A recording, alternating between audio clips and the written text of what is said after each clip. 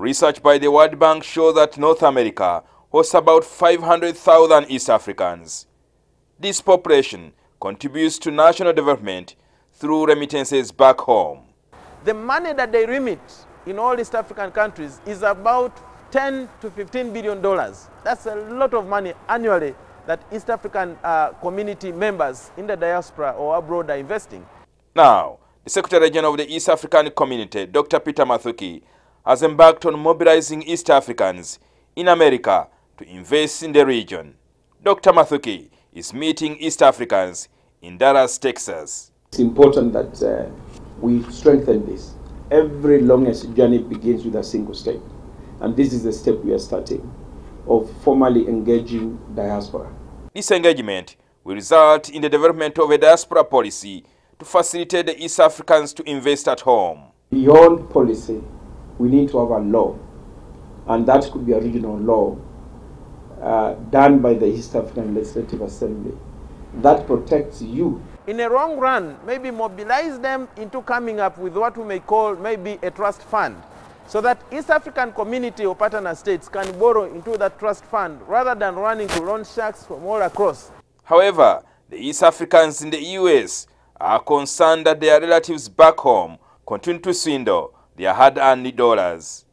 Because some of these people are not working, they, they are just waiting for the remittances that you are sending and fighting for it. And now, for the cases I had in Uganda, relatives threatening that if you ever step on Ugandan soil, we shall kill you. 22 years in this country,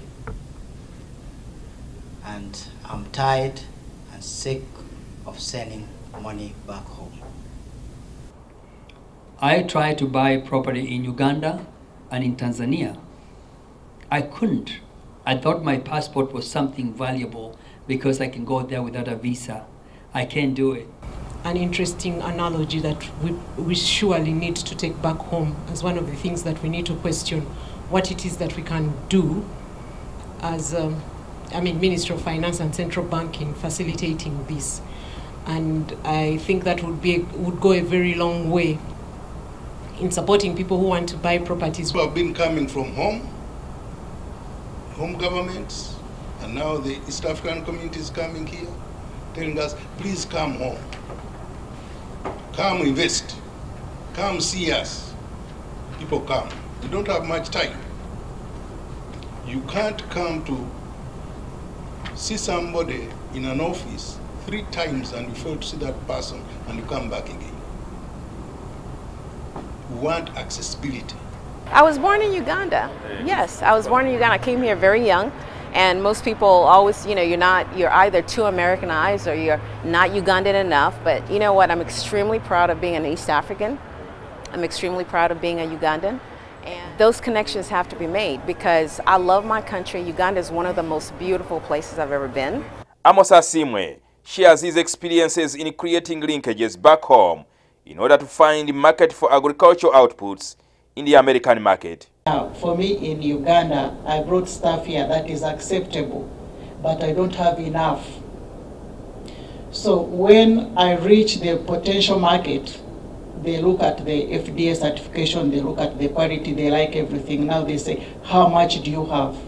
And they tell you the, the, the, the volumes, which I think even if Uganda we came together, we may not even meet. Right now, I'm, I'm, I'm asked to be able to ship minimum to start four containers every three months. We have that quality and quantity issue, but there's a small piece that I've always wondered why why we don't uh, engage with, which is the African stores that are already set up here.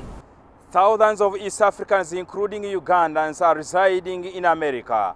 Many of them have a mass wealth that requires them to invest back home.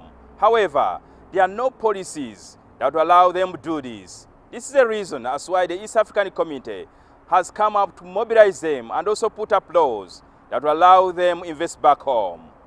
Jingo Francis, NTV, Dallas, Texas, in the USA.